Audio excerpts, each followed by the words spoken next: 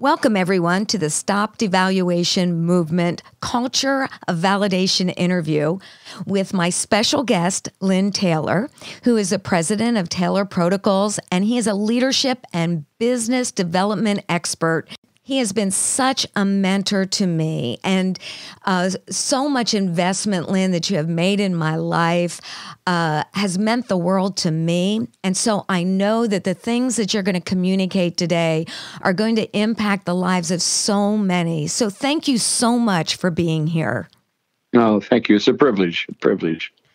You know, Lynn, uh, I think one of the greatest opportunities we have as leaders is to create a culture that values and supports one another. You know, whether it's the family unit, a business, government, the educational system, you know, wherever it is. You know, in your experience, how does someone build a culture that validates those with whom they partner with? Well, uh, it's been mostly through business and and um, Melodye. I when I developed the uh, core values index was because I was doing turnarounds of, of businesses and and uh, successful in the turnaround, but not successful in building a culture and building um, a, a, group of people who were truly uh, top performers in in all positions. And and um, I, I've I found that I was not able to do that. I was able to get people to do more for me than they would, would for someone else. I was a good leader a good mentor, a good motivator, and um, and people uh, responded well to my to my leadership. So I was able to succeed with that, but not to the level that that I was promising and that I saw that I should uh, do. So um, I, I saw that there was no answer to the question: How do I consistently put a right person in a right seat? That became my framing question, just like it did for medical diagnostic imaging kinds of systems I created.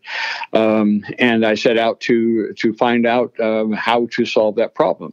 And the first thing I did was look to see if it had been solved or approached by anyone, and I found that uh, the answer was no, unequivocally, no, no one had ever uh, changed it. And I did that um, uh, judgment by has anybody ever uh, caused the Alfredo Pareto 80 20 principle to be um, overcome and, and made void?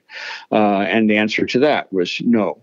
Um, so um, I then looked at the technologies. I, I, looked at the things that were available, and um, uh, basically, I, I, saw that the computers now were were uh, were stronger and able to handle things uh, better than before. In '83, we are just coming into the PC world, um, and I saw that we were getting distributed computers. Um, so on the back of that, uh, I set out to create um, uh, the first instrument that would measure what Maslow called the innate, essentially unchanging nature of a person. And I found Maslow while I was doing my research to try to find solutions. Um, and um, that wasn't a solution uh, because that was a vision he had back in the uh, 1940s uh, and, and earlier, uh, a long time ago now. And um, uh, it, but it became it became my uh, focusing point. I had to create a, a, a new methodology, a human assessment and I wanted to do that in less than 10 minutes, which I did. And um, that would show us what the innate, essentially unchanging nature of a person is. Uh, we've done that. We found that that just uh, consists of four discrete human energies, and that we were able to measure those. So we get a recipe uh, of capacities that a person has to be uh, one of the uh, uh, core value energies at any moment in time, and and how easy or hard it is to shift.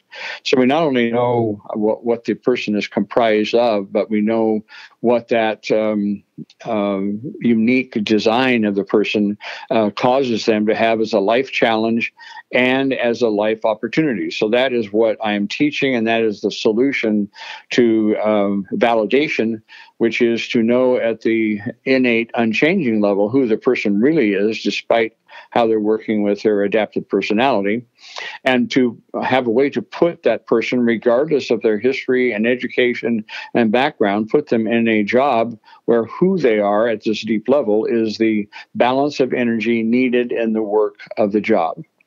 Uh, Dr. David Mashburn uh, is uh, uh, was my prime mentor uh, in this. Um, three PhDs and and years of leadership and and evaluation of of uh, more than 1,200 assessments that he wrote uh, reviews on.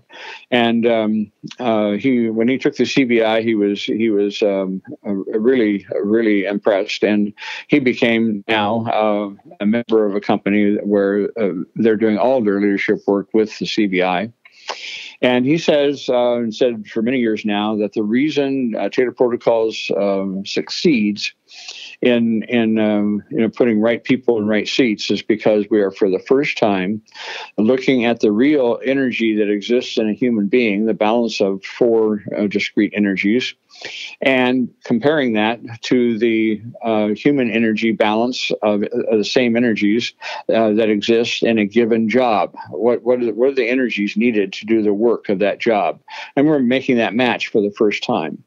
So we truly have solved a, a remarkable thing, which is how do you put a um, any person uh, into a seat where they can make uh, their highest and best contribution, and they become a top performer uh, in their in their business and their society.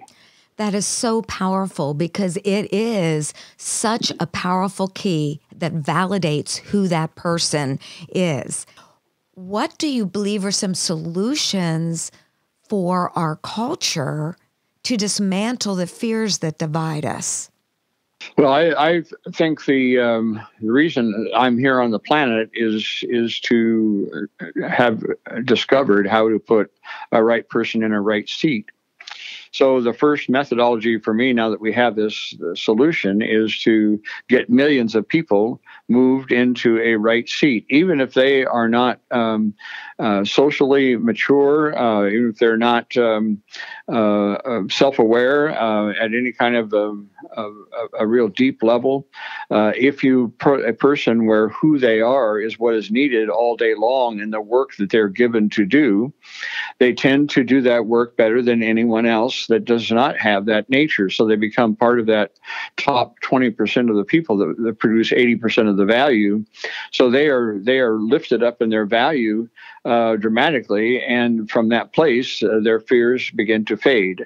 So to me, it's a real uh, societal restructuring to try to put as many people as possible, as many of the 80% of all people who are in wrong seats, uh, to move them up into their, their, right position. And it's the best thing that a company can do. It yes. increases human productivity by two or 300% when we do this uh, globally over the entire population. Uh, it's incredible. And all of that money becomes uh, increased pre tax profit. So I'm all about lifting uh, every human being and every company in, in the country into their place of highest and best contribution. Lynn, thank you so much for investing all this time, your heart, your knowledge into just everyone who is listening so that they could first of all, see their values, see their worth. Secondly, even connect to Taylor protocols. And I know even individuals who have connected with me just to see what they carry so validates them. And they go, yes, this is who I am. It really is justice driven, it is value driven. And it partners people together to see one another's worth. And that's beautiful, Lynn. I so appreciate all you are and all that you do. Well, thank you very much, Melodye. I appreciate your work as well, and and uh, this is a, a, privilege for me to, to talk and share this with you. And um, I I'm doing anything I can to lift you up to your place. Well, and you do do that. Thank you so much, Lynn. Thank you.